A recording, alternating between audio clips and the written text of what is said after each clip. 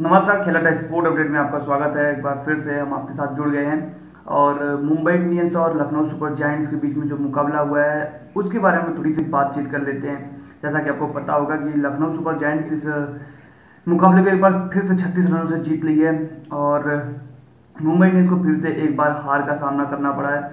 Mumbai Indians, जो कि लगातार अपनी आठ मुकाबले को हार गई है इस सीज़न में, जो कि मुंबई इंडियंस एक समय इतनी मज़बूत टीम कही जाती थी जो कि पाँच बार अपने नाम कप की है आईपीएल में।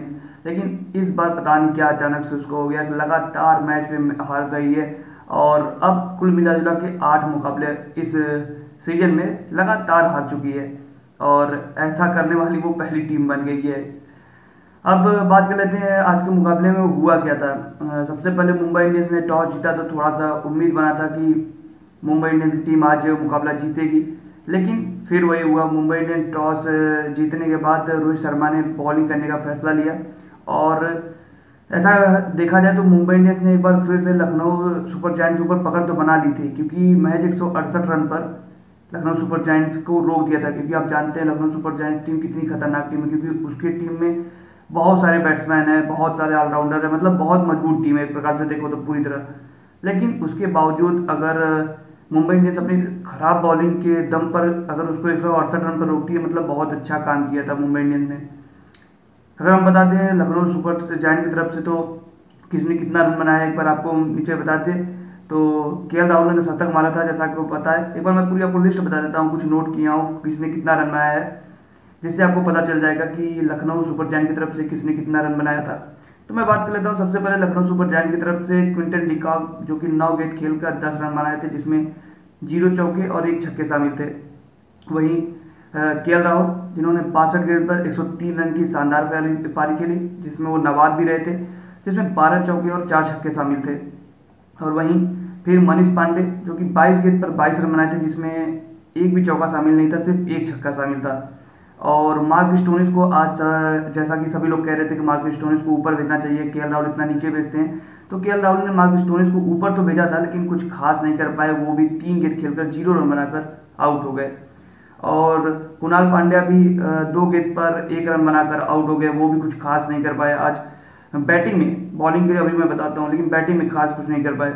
और उसके बाद दीपक हुड्डा, वो भी कुछ खास नहीं कर पाए। नौ गेंद पर दस रन बनाए थे, जिसमें एक चौका शामिल था। आयुष बडोनी उन्होंने भी ग्यारह गेंदों का सामना किया था और चौदह रन की पारी खेली थी, जिसमें ज़ीरो चौके और एक छक्का शामिल था। और होल्डर ने, जो कि दो गेंद खेले थे और बिना खाता खोले मैदान पर नबाद तो रहे थे, लेकिन दो गेंद पर कुछ रन नहीं बनाए थे। अगर मैं मुंबई इंडियंस की तरफ़ से बात कर लूँ तो डेनियल सैमिल्स ने चार ओवर में चालीस रन देकर एक विकेट लिया था, जो कि मार्क स्टोनिस के रूप में उनको पहला अपना विकेट मिला था। और वहीं जसप्रीत बुमराह, वो भी चार ओवर में इकतीस रन देकर एक विकेट लिए थे। उन्होंने क्विंटन डिकाप को आउट किया था।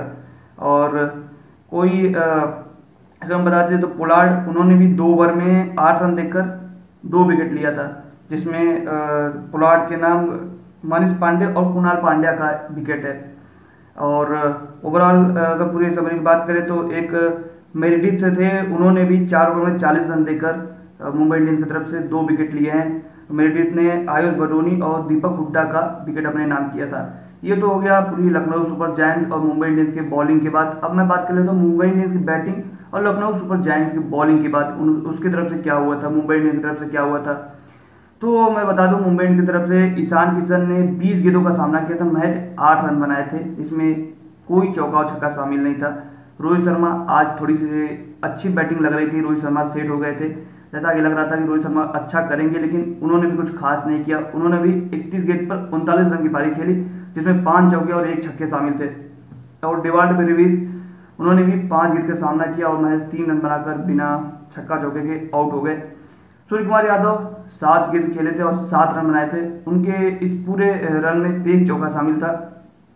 तिलक वर्मा, उन्होंने भी सत्ताईस गेंदों का सामना किया था और अड़तीस रन की पारी खेली थी, जिसमें दो चौके और दो छक्के शामिल थे। किरण पोलाट एक बार फिर फेल रहे। उन्होंने 20 गेंदों का सामना किया, महज 19 रन बनाए, जिसमें एक छक्के सिर्फ़ शामिल थे। और वहीं डेनियल सैम्स जिन्होंने सात गेंदों का सामना किया था महज तीन रन बनाया था और कोई भी चौका छक्का शामिल नहीं था।